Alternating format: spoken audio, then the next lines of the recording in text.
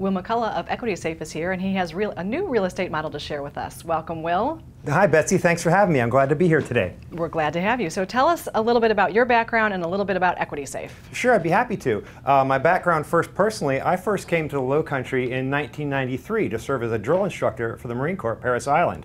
Uh, my wife and I loved the area, decided it was a great place to raise a family. I left the Marine Corps and we've been involved in the real estate market in one way or another ever since, and uh, ever since 1997 as a matter of fact. Uh, wow. Equity Safe Realty is a new model of a real estate company that we founded and started about a year and a half ago and it's been doing really well well. Tell us how it's different.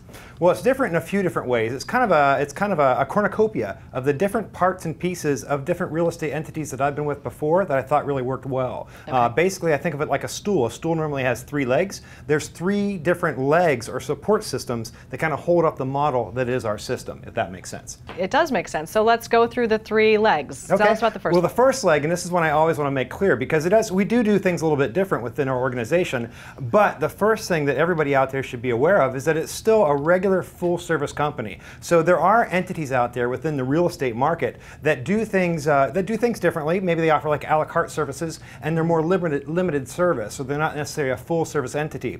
Uh, I've been the top selling real estate agent at many different local agencies over the last 15 years, and the reason I mention that is because what we do at our company is the same level of service and the same things that I did at those companies. So the first leg of the stool is absolutely 100% full service to our clients and customers. Uh, okay. Uh, the second leg of the stool is that we actually pay buyer agents more, uh, stereotypically, at least more than, than what one would be expected to be seeing. What that does is nowadays, the way technology works, real estate marketing is, is pretty comparable from listing entity to listing entity. You know, you list something, it goes in the MLS, the multiple listing system, right. and then from there it's, it's put out to, you know, realtor.com, excuse mm -hmm. me, Trulia, Zillow, and all these third-party sites. So a lot of the real estate marketing nowadays is kind of standard. One of the things that we can do to make a tangible, actual difference in the saleability of our clients' properties is to pay those that bring the buyers more, at least more than they expect. Normally, you know, real estate commissions are negotiable, and I'm sure you know that. Sure. Uh, but it's not uncommon, at least, for like a, a common commission that people might see is 6%. Using that 6% as an example, what happens with 6% is 3% of that commission, or half, is normally offered out to all the agencies in the area, uh, and that's paid to the buyer agency. So 3% goes to the buyer agencies, and 3% is kept with the listing agency. What we do different is we build in basically a bonus to enhance the fiscal saleability of our properties to all the buyer agents in the area.